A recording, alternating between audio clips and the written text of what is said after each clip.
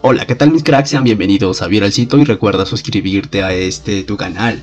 Por otra jornada más de la CONCACAF Champions Cup, New England Revolution recibió este martes a las Águilas del América por el partido de ida de los cuartos de final. Y en medio de la controversia realmente, el tema de la lluvia retrasó el partido.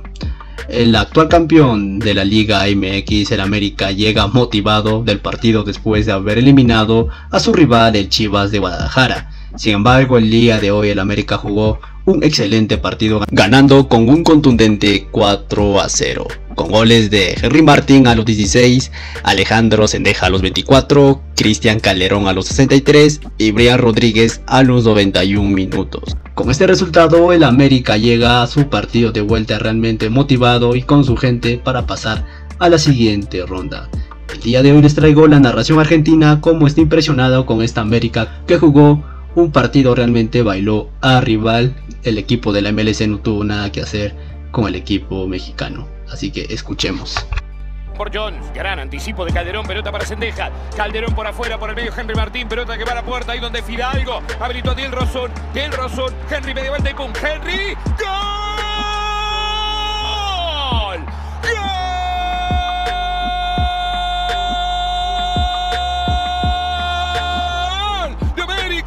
Henry Martín con una media vuelta que se fue como el sol cuando muere la tarde. Diría Luismi desde su México. Ahí estuvo Henry Martín. América 1, New England Revolution.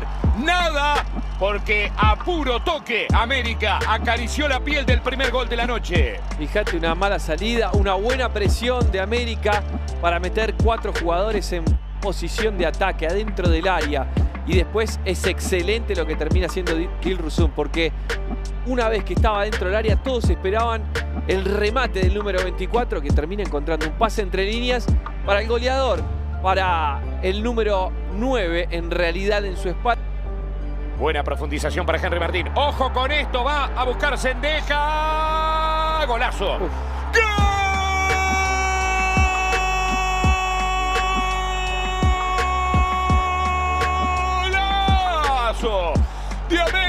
De Sendejas, la colgó del ángulo, la pelota voló como un águila hacia la alta cumbre del ángulo superior derecho en el arco.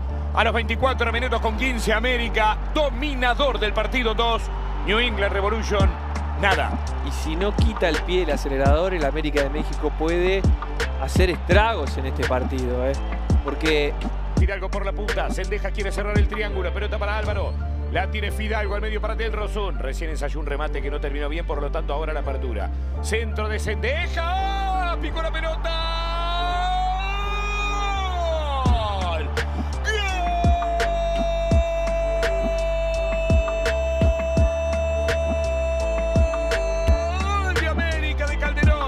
Que entró a tocar el rebote insólito que dio el arquero Edward. Es cierto que el centro de Sendeja venía con veneno. Es todo cierto que tenía una cortina humana por delante que pudo obstaculizarle la visión. Habrá que verlo. El tema es que falló Edward. Y en ese rebote que no falló fue Calderón. América 3, New England Revolution, nada. fíjate cómo el arquero da un rebote hacia el costado. El arquero puede dar rebote, pero no hacia el medio, no hacia ese lugar. Siempre para el costado, bien por fuera. La pelota le termina picando antes. Todo lo que dijo Germán puede ser complicado para, para el arquero para controlar. El campo eh, no está en las condiciones dadas para que la termine lanzando. Puede seguramente haberse confundido con el central, si la cabeceaba o no la cabeceaba. Pero si vas a dar un rebote que no sea para donde está un jugador, sino para el costado, bien hacia afuera,